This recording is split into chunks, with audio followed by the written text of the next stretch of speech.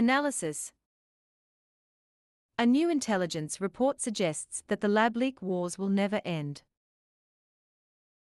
Given a 90 day deadline to share what they know about COVID's origins, America's divided intelligence agencies produced a slim report that leaves both major hypotheses on the table and raises as many questions as it answers.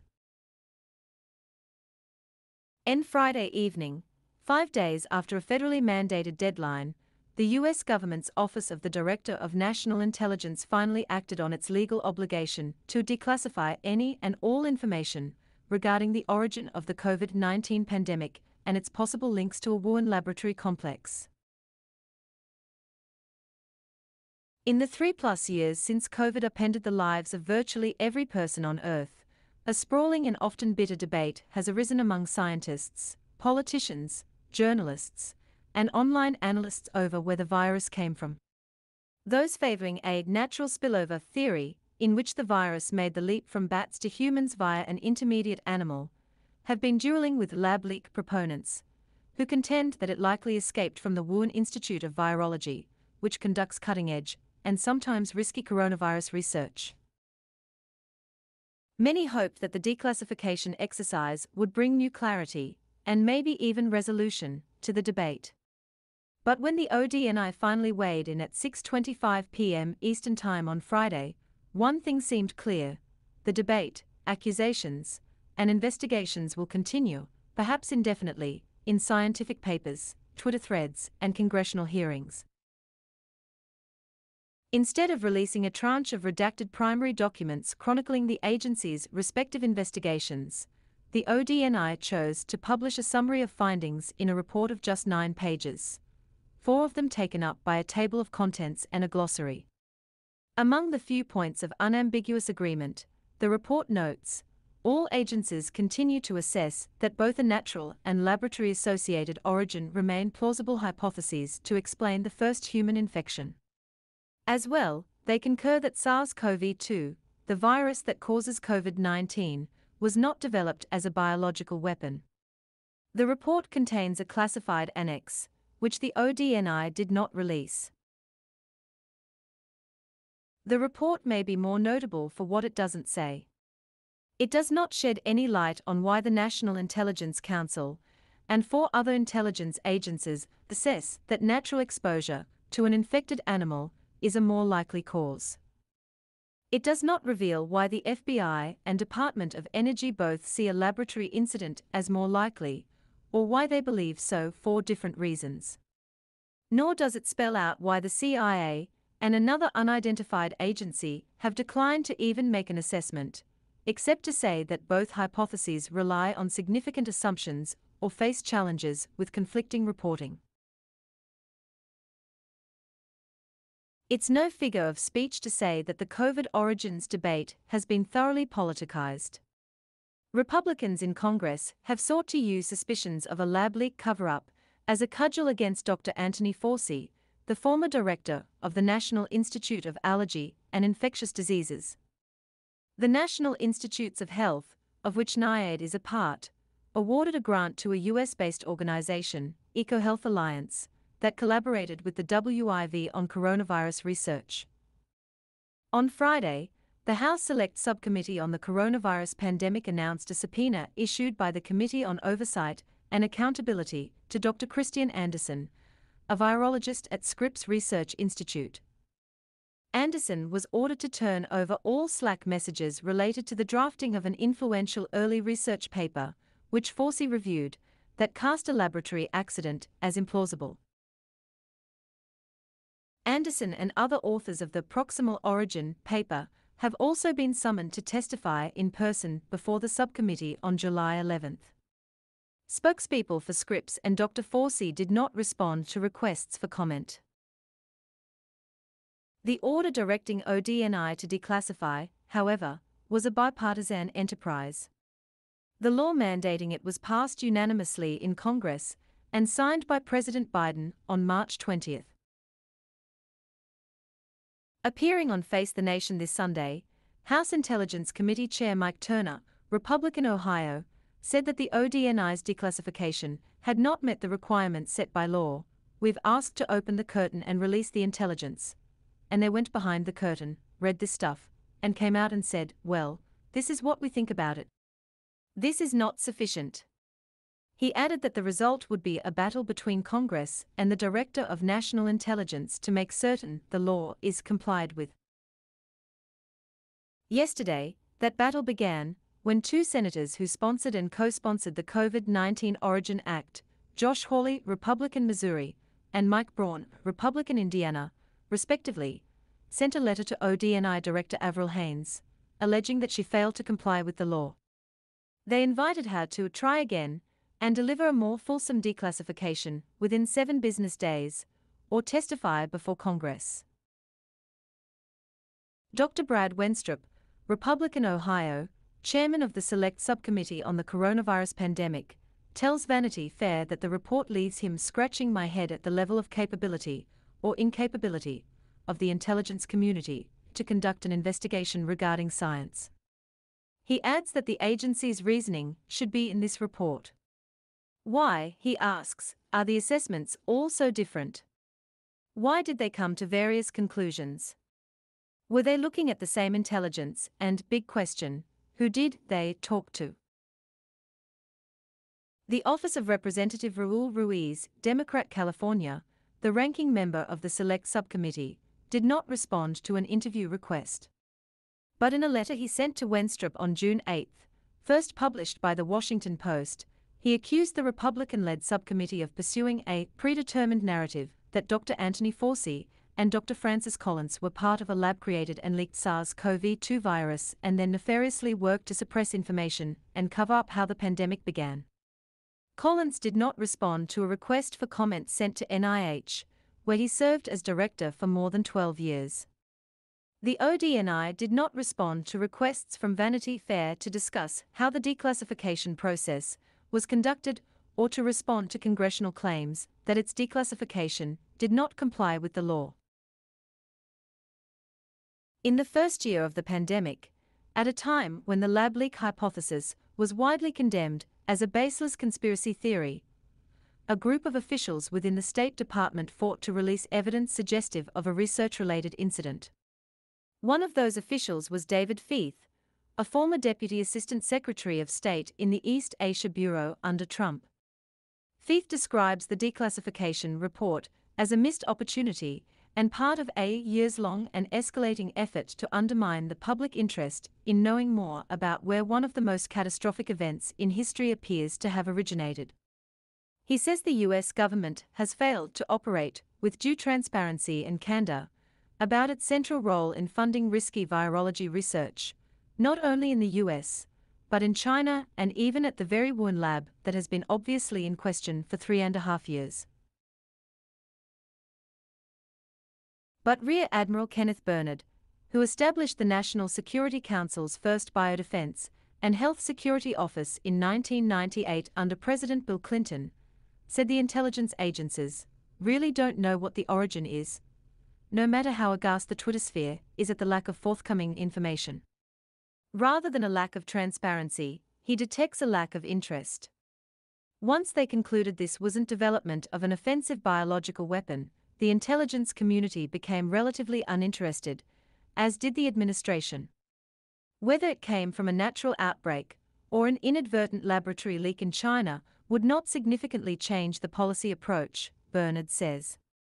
Both origin stories, of a market or lab origin, implicate China in not giving proper oversight to a dangerous practice. The report represents the placid tip of a large, disputatious iceberg. Its carefully hedged language points to continuing divisions of interpretation within the intelligence agencies, says Bernard. Collectively, the DNI is saying that both hypotheses are plausible, says Gerald Parker, who previously led the U.S. Army Medical Research Institute of Infectious Diseases in Fort Detrick, Maryland. That is the consensus opinion they could come up with. The intelligence agencies are analyzing information they are getting through their channels. If they say, there's no direct evidence SARS CoV 2 was in the lab before December 2019, it doesn't mean it's not there. It just means they don't have direct evidence of it. The report notes that several WIV researchers fell ill in the fall of 2019 with some symptoms that were consistent with but not diagnostic of COVID 19. That information, first disclosed in a January 2021 State Department fact sheet, recently broke into the news when first a Substack publication, and then the Wall Street Journal, identified the sick researchers as three people who had done work in the lab of the WIV's top coronavirus scientist. Two of them subsequently told Science magazine that they had not been ill in the fall of 2019. Vanity Fair emailed all three for comment, as well as the lab's top coronavirus scientist, but received no reply. The report also acknowledges biosafety concerns at the WIV, a shortage of appropriately trained staff, a probable lack of inadequate biosafety precautions, and efforts to improve training as well as systems for disinfection and ventilation in response to problems that had been identified. A report worked on by a Senate committee's Republican staff documented these issues and argued that they prompted high level concern within China's government, as evidenced by a visit to the WIV from a senior Beijing biosafety official in November 2019. The ODNI report says that the visit appears routine rather than a response to a specific incident. It also finds that an inspection at the laboratory that identified problems after the pandemic began is not necessarily indicative of WIV's biosafety status prior to the outbreak. Florence Débarre, a senior scientist at the French National Centre for Scientific Research, has been studying COVID origins with an international team of scientists who contend the pandemic began with a natural spillover. In her view, the declassification offered little evidence to support the lab leak hypothesis. To learn that nothing has been found is an important piece of information, Débarre says. There is no evidence that the WIV had SARS CoV 2 before late December 2019. There is no evidence that there were accidents at the WIV in November 2019, no evidence there were three sick researchers with COVID in a coronavirus lab group. Michael Worobey, an evolutionary virologist at the University of Arizona, co-wrote an influential research paper which used a geospatial analysis of early cases in Wuhan to argue that the virus originated at the Huanan wholesale seafood market there, leaping from infected animals to humans to start the pandemic. He believes that the natural origin hypothesis is the only explanation that comports with the available data. I didn't have any expectation that there would be major revelations that would change my thinking, he says of the declassification, adding that there is very clear scientific evidence that the virus started with wildlife sales at one of the four markets in Wuhan consistently selling these live animals. In the days since the ODNI report was issued, several commentators have attempted to use its sparse and couched language to conclusively dismiss the lab leak hypothesis. But the four agencies, including the National Intelligence Council, that favor a natural origin do so only with low confidence. Clearly, the intelligence agencies don't think that the evidence of a natural origin is dispositive, says Bernard. Low confidence means it's barely over the 50 50ths line. David Asher, a former senior investigator under contract to the State Department, helped lead the review there that ended in January 2021. He says during that time, we asked the intelligence community for information pertinent to natural origins, full stop, what did they know? I can't tell you what they knew, but I never saw a scintilla of evidence showing a natural origin. He says that, by contrast, the State Department team had more information two and a half years ago indicating a lab leak than is reflected in the current declassification, and he claims that some of that information still has not been disseminated. The strongest assessment, of moderate confidence, comes from the FBI, which views a lab leak as more likely. Of all the intelligence agencies, says Parker, the FBI has the most experience in investigating biological threats, including lab breaches and purposeful attacks. The FBI has established laboratories to support this work, and has developed procedures and protocols, he says, in part due to its experience investigating the 2001 anthrax attacks. Parker was an expert advisor on the GOP Senate report released earlier this year. Two congressional investigators tell VF that, according to records they have reviewed, the FBI appears to have done the most legwork of any intelligence agency in formulating its assessment. The records, which document interviews and meetings with outside experts, have not been made public. Another expert cautions that the FBI's emphasis on law enforcement may bias its assessment. Since the pandemic began, the intelligence community's few public disclosures have evolved slightly over time, exposing small shifts in how the different agencies weigh different evidence, depending on their expertise. The most notable shift was that of the Department of Energy, which changed its assessment from undecided to low confidence that a lab leak had occurred, according to Fresh Intelligence, as the Wall Street Journal reported in February.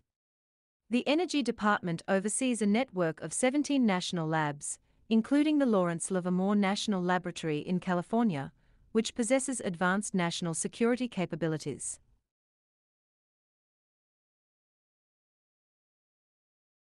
On April 30, 2020, the ODNI put out a statement that the intelligence community concurs with the wide scientific consensus that the COVID 19 virus was not man made or genetically modified, but would continue to assess whether the outbreak began through contact with infected animals or if it was the result of an accident at a laboratory in Wuhan.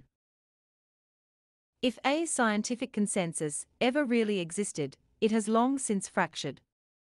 The declassified report now says that almost all IC agencies believe SARS CoV 2 was not genetically engineered, and most agencies believe it was not adapted in a laboratory using scientific techniques that can hasten evolutionary change in a virus.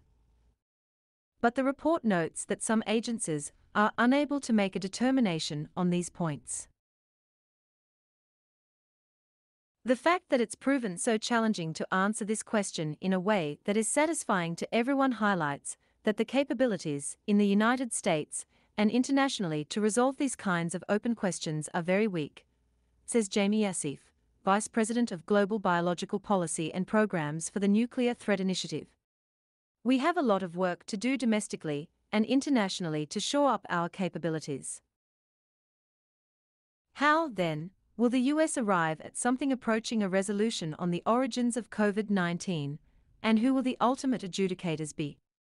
Parker says nothing short of a bipartisan, congressionally authorized commission will suffice, and I am not sure even that will any more. Additional reporting by Catherine Lee.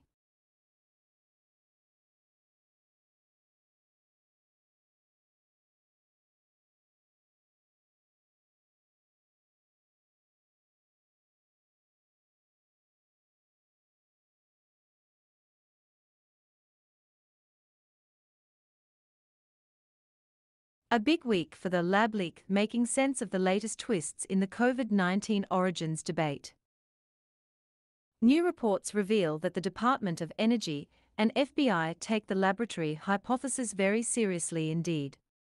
Could it be enough to prompt a bipartisan inquiry into what caused the pandemic? Those tracking the contentious debate over COVID 19's origins, it's been quite a few days. On Tuesday, FBI Director Christopher Wray publicly acknowledged that the Bureau considers an accidental biohazard leak from a laboratory in China to be the likeliest cause of the COVID 19 pandemic.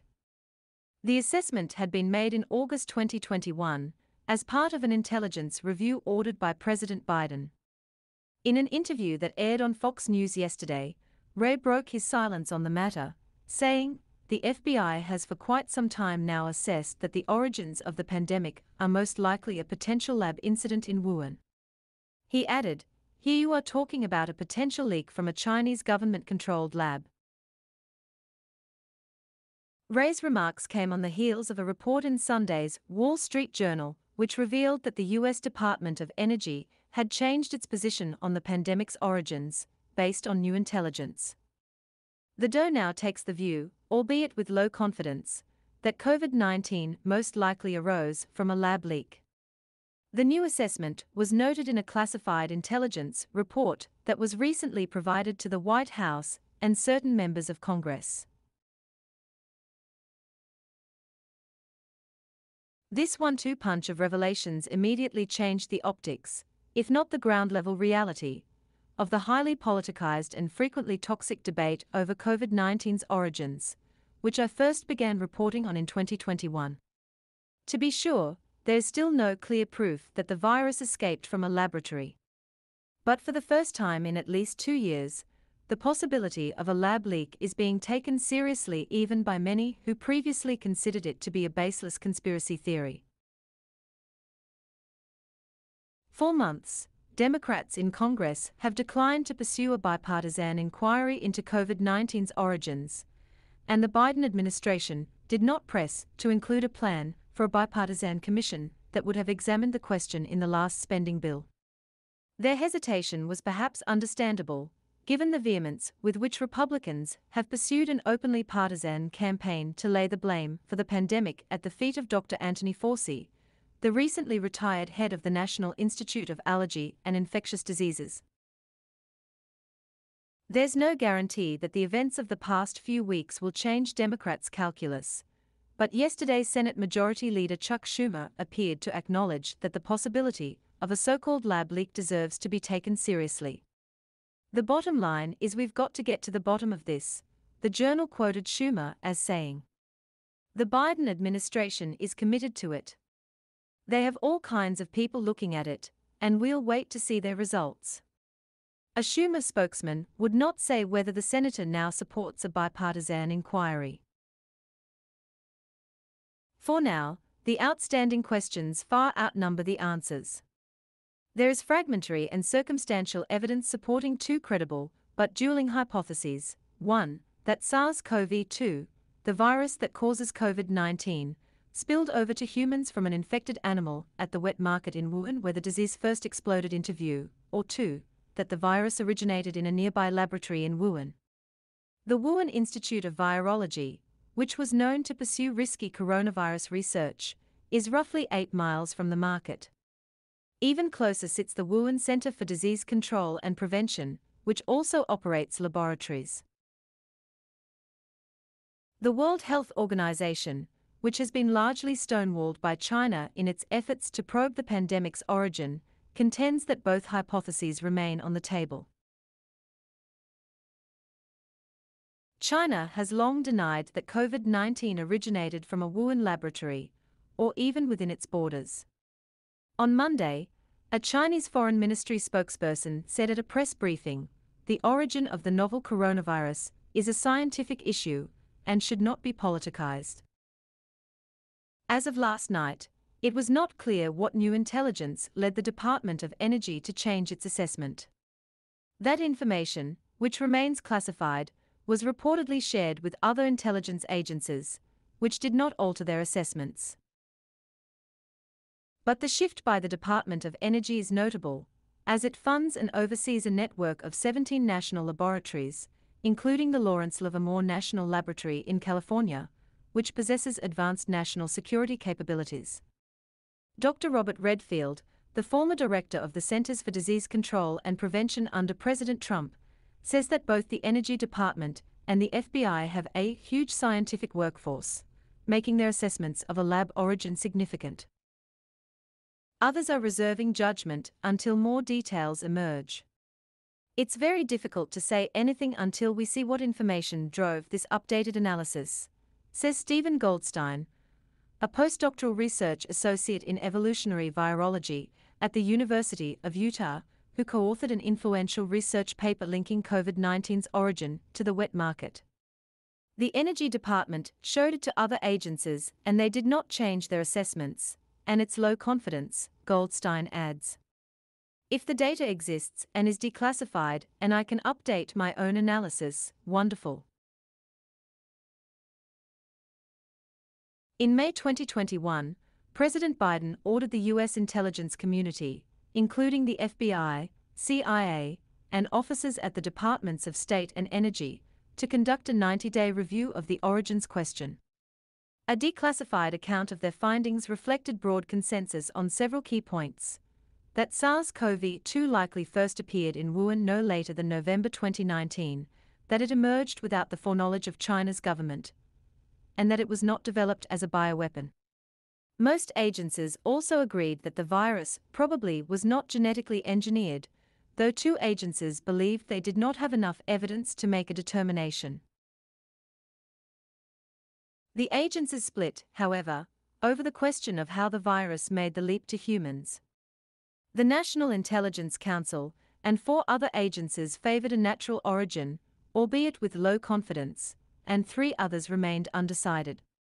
One unnamed agency, which turned out to be the FBI, assessed with moderate confidence that the first human infection with SARS CoV 2 most likely resulted from a laboratory associated incident, probably involving experimentation, animal handling, or sampling by the Wuhan Institute of Virology, the summary stated. This sober minded inquiry by intelligence professionals unfolded in stark contrast to the often bitter debate raging in the press and on social media. In the early days of the pandemic, the claim that COVID 19 leaked from a laboratory was part of a broader conspiratorial narrative pushed by fringe figures. Steve Bannon, a far right advisor to President Trump, linked arms with a Hong Kong billionaire to elevate wild and unsupported claims such as the notion that the Chinese Communist Party had developed COVID 19 as a bioweapon. In April 2020, after President Trump asserted, without offering evidence, from the White House podium that the virus had come from a Wuhan laboratory, the political battle lines hardened. The mere suggestion that a laboratory leak might have occurred became associated with xenophobic, anti scientific, and often flatly untrue claims being driven from the right. Even as more legitimate questions surfaced around the lab leak hypothesis, most mainstream media continued to present the market origin as settled science, and one that enjoyed a consensus among scientists. One set of studies, in particular, led scientists and journalists to continue asserting that the spillover theory was far likelier than the lab alternative. In July, a group of leading virologists published two peer reviewed papers that analyzed early cases of infected patients in Wuhan using geospatial mapping. They concluded that SARS CoV 2 occurred through the live wildlife trade in China, and that the Wuhan market was the epicenter of the COVID 19 pandemic. On Monday, Fauci told the Boston Globe at a health and biotech conference that he believes that the mapping analysis rather strongly suggests that the virus emerged as a natural occurrence. Stephen Goldstein, one of the paper's co authors, says that although he believes the evidence points strongly to the market in Wuhan, we acknowledge in the paper there are still elements of this that are unknown. Over the last two years, however, a more complex picture has emerged, bit by bit, due to the work of freedom of information research groups, a small number of scientists and journalists, and a group of online sleuths calling themselves Drastic. It turned out that the National Institutes of Health, NI, had allowed a U.S. scientific research nonprofit called EcoHealth Alliance to provide subgrants of federal funding to the Wuhan Institute of Virology, at WIV, which were used to support risky coronavirus research. The Department of Health and Human Services Inspector General recently determined that the NI had failed to appropriately oversee the central grant in question. It also turned out that some of the earliest and most persuasive arguments against a possible laboratory origin came from scientists who initially suspected a lab origin was likely, as revealed in emails obtained through Freedom of Information requests and it emerged that EcoHealth Alliance, in partnership with the University of North Carolina virologist and the WIV's top coronavirus researcher, had in March 2018 sought a grant from the Defense Advanced Research Projects Agency, DARPA. As part of their grant application, they proposed to insert a feature known as a furin cleavage site into unidentified SARS like bat coronaviruses to assess their ability to infect cells. This raised eyebrows given that one of the most notable features of SARS CoV 2 is its unique furin cleavage site, not found in any other known SARS like virus. DARPA declined to fund the grant, determining that the proposal had failed to adequately assess the risks of the research. The president of EcoHealth Alliance, Peter Daszak, has said that to his knowledge none of the collaborating partners on the grant continued the research, but it's unclear whether it nevertheless went forward in some way. Lawrence Tabak, acting director of the NIH, recently testified at a hearing held by the House Energy and Commerce Committee that the viruses the WIV studied using his agency's funding could not have sparked the pandemic as they bear no relationship to SARS CoV 2. They are genetically distinct. But the full picture of the work that was done at the Wuhan Institute of Virology remains shielded from public view.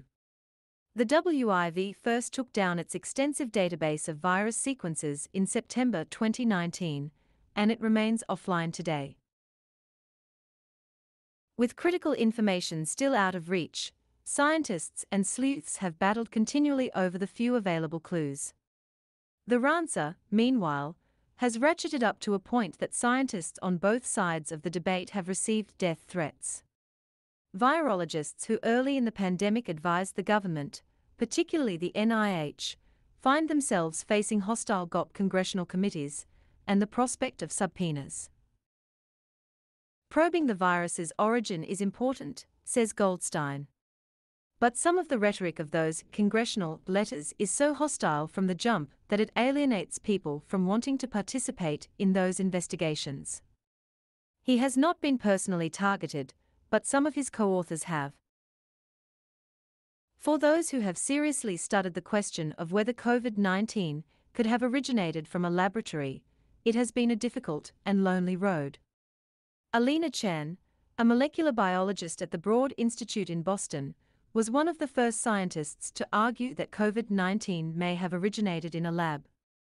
She has argued her case on Twitter, and Carr published a book, Viral, exploring the question with a British science writer, Matt Ridley. Throughout, she has been relentlessly assailed online by critics, including establishment scientists, who denounce her as a conspiracy theorist and grifter. Some powerful proponents of the natural spillover hypothesis have gone out of their way to degrade and intimidate those asking for a fair investigation of the lab leak theory, Chan told Vanity Fair. No matter how much abuse they heap on us, the lab leak has always been a plausible origin of the pandemic. Amid the overheated debate, journalists investigating the possibility have also been targeted. In October, critics demanded that ProPublica and Vanity Fair retract an investigative report on the Wuhan Institute of Virology, arguing that it relied in part on faulty translations of Chinese language documents. An extensive review by both publications affirmed that the reporting was sound and that the lab leak hypothesis is an essential avenue for exploration. Since the Wall Street Journal's story on Sunday, even the comedian Jon Stewart has expressed bewilderment at the attacks he faced after he joked to Stephen Colbert in June 2021 that it was obvious COVID 19 came from a Wuhan laboratory. As he noted on his Apple TV Plus podcast Monday, the larger problem with all of this is the inability to discuss things that are within the realm of possibility without falling into absolutes and litmus testing each other for our political allegiances. Without cooperation from China's government, which virtually no one believes is forthcoming, it will be difficult, if not impossible, to say for sure how the pandemic began. But US efforts to shed light on the question and prevent future pandemics continue all the same. As the intelligence agencies weigh declassifying crucial information and GOP led congressional committees continue to pursue hearings, the Biden administration appears poised to move forward with more stringent regulations of risky pathogen research despite the opposition of many virologists. The fact that it's plausible that a lab accident could have caused a global pandemic is a wake up call for all of us, says Jaime Yassif, Vice President of Global Biological Policy and Programs for the Nuclear Threat Initiative. If we don't take bold action now to guard against accidental or deliberate misuse of bioscience and biotechnology, we could face catastrophic consequences in the future which could be as bad as COVID or worse. This sober minded inquiry by intelligence professionals unfolded in stark contrast to the often bitter debate raging in the press and on social media.